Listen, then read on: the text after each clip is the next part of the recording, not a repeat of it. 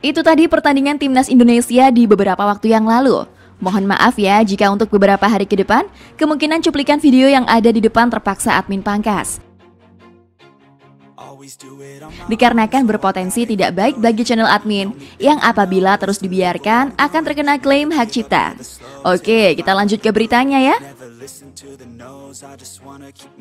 Skuad juara Piala AFF U16 jadi kerangka timnas Indonesia U17 untuk Piala Dunia U17 2023. Pelatih timnas Indonesia U17 Bima Sakti Tukiman mengatakan kerangka timnya untuk Piala Dunia U17 2023 sudah terbentuk.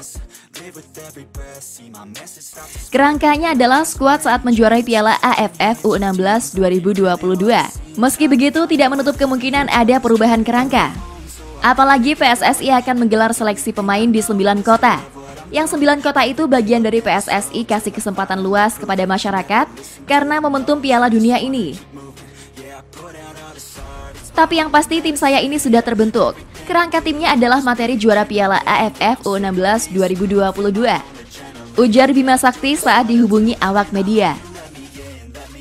Tapi dari seleksi itu ya kami kan tidak tahu Siapa tahu ada pemain di pelosok Indonesia belum terpantau dikasih kesempatan buat training camp di Jakarta, katanya menambahkan. Tak hanya itu, Bima Sakti juga akan menjajal para pemain keturunan. Mereka bakal dites kemampuannya dalam training camp.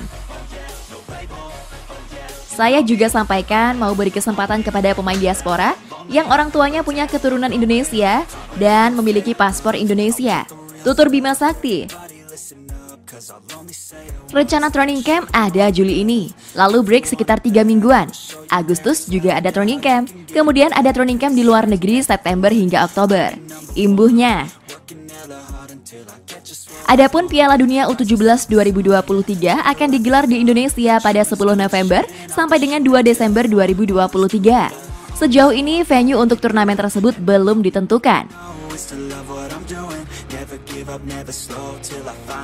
Prove it Never listen to the no's I just wanna keep moving. Yeah, I put out all this art It's my only medicine, yeah Everything I do, I'm just being genuine. Yeah, I'm sick of being screwed Feel my own adrenaline. Yeah,